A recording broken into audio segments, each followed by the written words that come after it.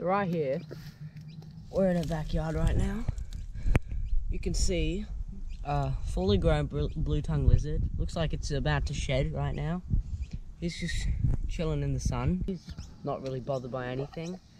He's seen a lot of people. He's living in a pretty urban area, so that's a pretty epic find right there. So that's pretty cool.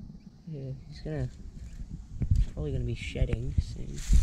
There he goes. Here, try and catch him before he gets away. There he is. He's a good boy.